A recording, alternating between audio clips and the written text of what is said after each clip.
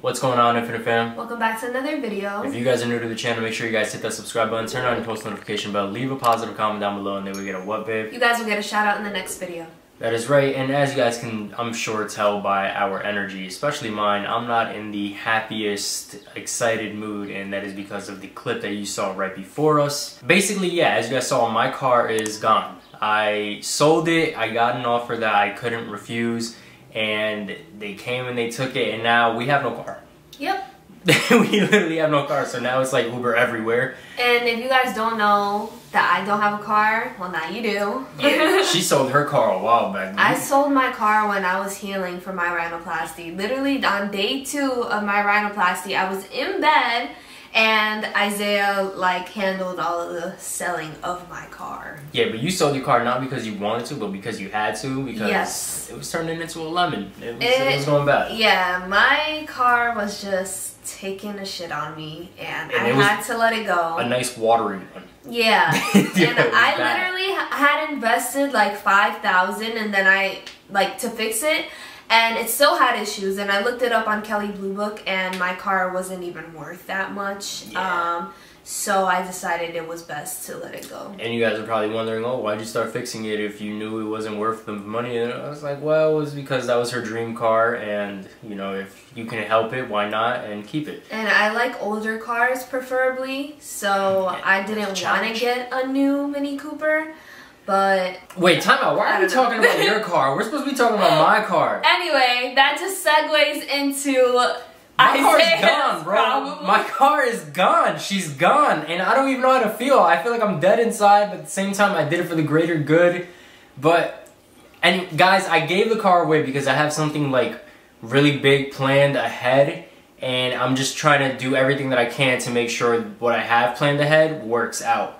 And I feel like step one was getting rid of the car, especially for an offer that they gave me that I couldn't refuse. Yeah. I know it's gonna suck having to Uber everywhere, and especially if we have to vlog something.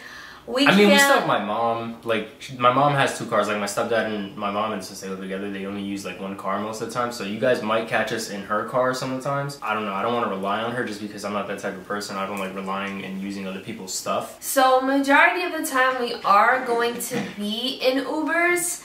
Um, I can't promise that the vlogs are going to be the same in the meantime.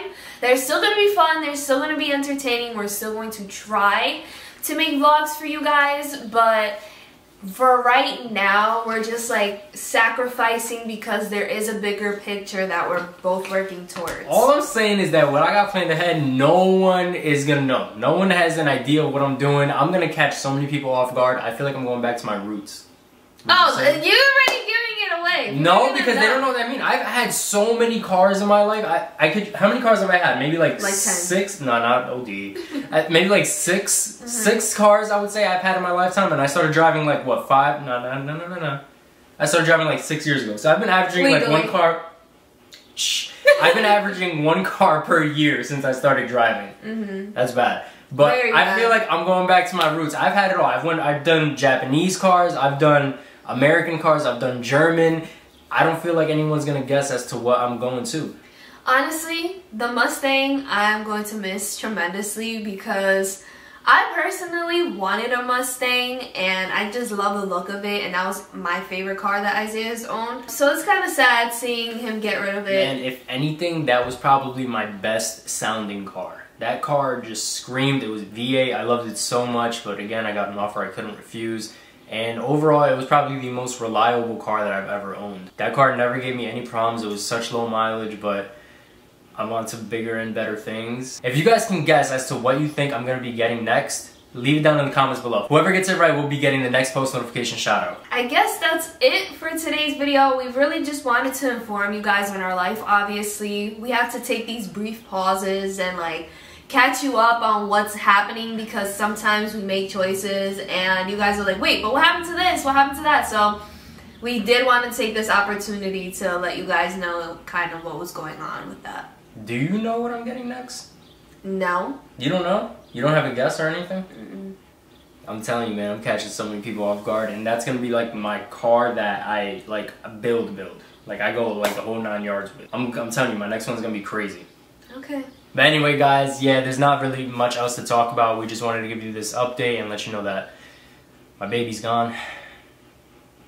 It's really starting to hit now. All right, let's not anyway, anyway, guys, yeah, that is it for today's video. Um, give this video a thumbs up if you guys are excited for what's to come next, and we will see you guys in the next video. Love you, fam.